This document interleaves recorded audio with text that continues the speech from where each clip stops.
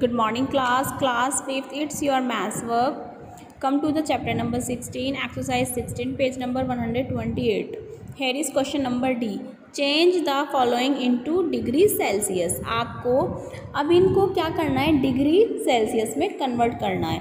ये आपका गिवन है टू हंड्रेड डिग्री फ़ॉरेनहाइट ये डिग्री का होता है, ये जो सिंबल है डिग्री के लिए यूज़ किया जाता है। टू हंड्रेड डिग्री फ़ॉरेनहाइट आपको डिग्री फ़ॉरेनहाइट से डिग्री सेल्सियस में कन्वर्ट करना है। बेटा डिग्री सेल्सियस में कन्वर्ट करने के लिए then here you will have a property C is equal to F minus thirty two F means Fahrenheit में जो आपको वैल्यू गिवन है। मल्टीप्लाई फाइव अपॉन नाइन आपको इतना लर्न करना होगा F minus thirty two multiply five upon nine so here C equal to F कितना है हमारा? एफ़ की वैल्यू है two hundred minus thirty two multiply five upon nine two hundred minus thirty two minus किया हमने? Two hundred में से thirty two हमारे को रिसीव हुआ है one hundred sixty eight multiply five upon nine अब हमने क्या करा है? वन हंड्रेड सिक्सटी एट को नाइन से डिवाइड करा है. Okay student one hundred sixty eight को नाइन से हमने डिवाइड करा है तो then we will get eighteen point six six and multiply 5 then 18.66 multiply 5 here is 93.3 degree celsius answer. Okay, students. Here question number two 500 degree Celsius को आपको convert five hundred degree Fahrenheit को आपको convert करना है degree Celsius में.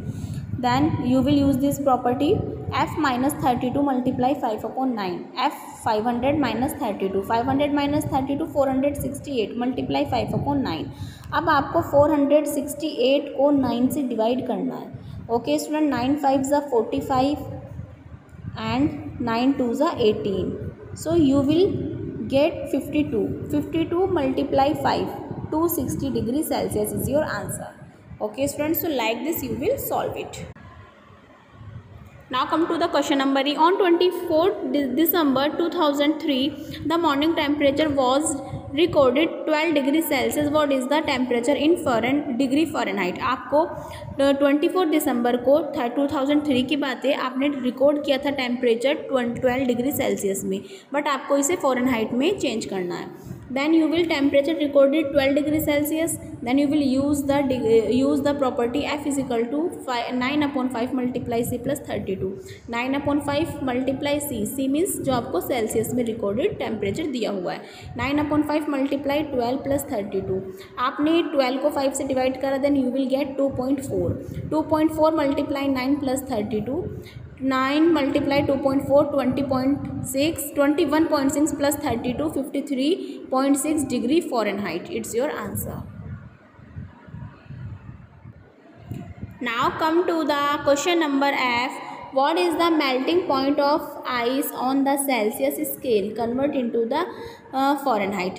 आपको इसमें एक आइस का सेल्सियस स्केल आपको मेल्टिंग पॉइंट आउट आपको फॉरन हाइट में कन्वर्ट करना है। स्टूडेंट्स हमारा जो मेल्टिंग पॉइंट होता है सेल्सियस में वो ज़ीरो डिग्री सेल्सियस होता है ओके मेल्टिंग पॉइंट जो होता है वो इसका वो ज़ीरो डिग्री सेल्सियस होता है. Then you will use the F equal to nine upon five multiply C plus thirty two nine upon five is Celsius में तो ज़ीरो डिग्री होता है multiply zero plus thirty two then you will nine multiply zero zero zero divide by five equal to zero zero plus thirty two zero plus thirty two equal to thirty two degree Fahrenheit okay students so now you will solve it like this